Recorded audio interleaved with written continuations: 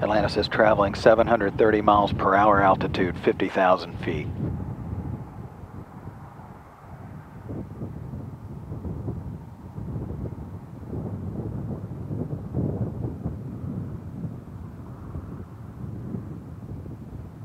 Commander uh, Scott Altman now flying Atlantis.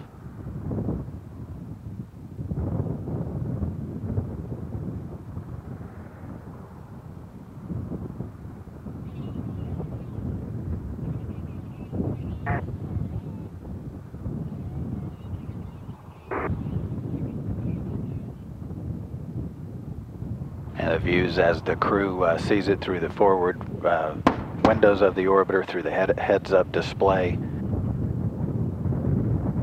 The twin uh, sonic booms heralding the arrival of Atlantis to the uh, landing site. Time to touchdown, three minutes. Altitude 34,000 feet, traveling 560 miles per hour.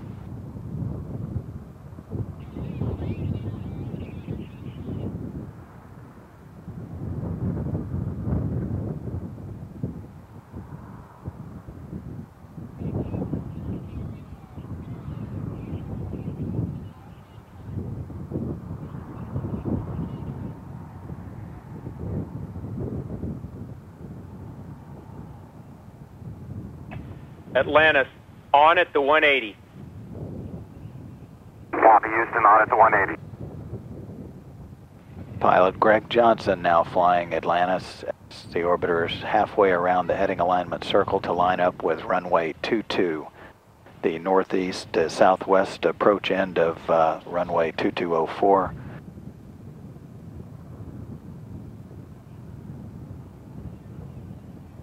And Commander Scott Altman now uh, flying Atlantis the rest of the way. Time to touchdown, two minutes. Atlantis, on at the 90. Houston, Atlantis copies. On at the 90.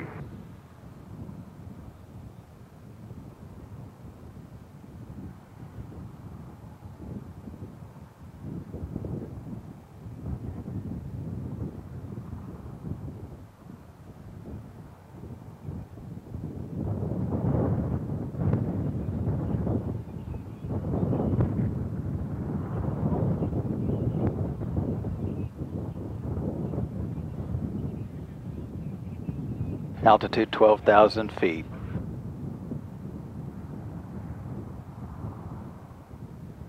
Houston, Atlantis. Field in sight at 10,000 feet. Copy, field in sight.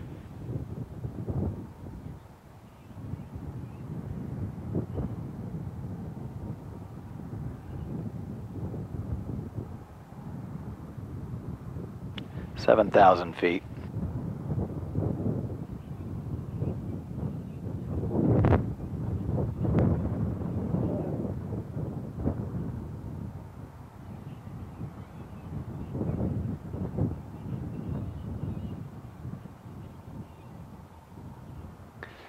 Four thousand feet.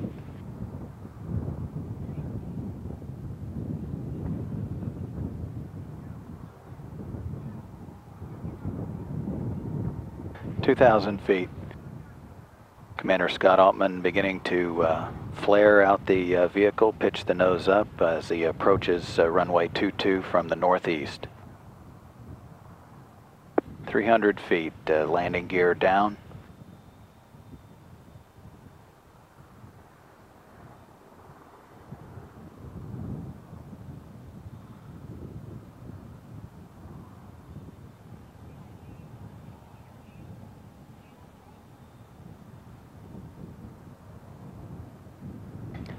Main gear touchdown.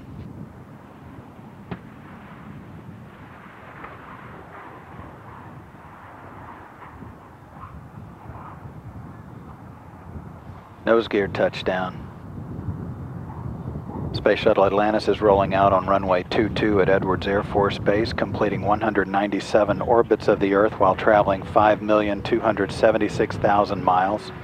This landing marks the 53rd shuttle mission to end at Edwards Air Force Base. Atlantis spent seven days servicing the Hubble Space Telescope that included five spacewalks, totaling a record 37 hours. Atlantis has completed its 30th mission and the 126th in the history of the Space Shuttle program. The Hubble Space Telescope's final servicing mission is complete, but its mission of discovery is just beginning.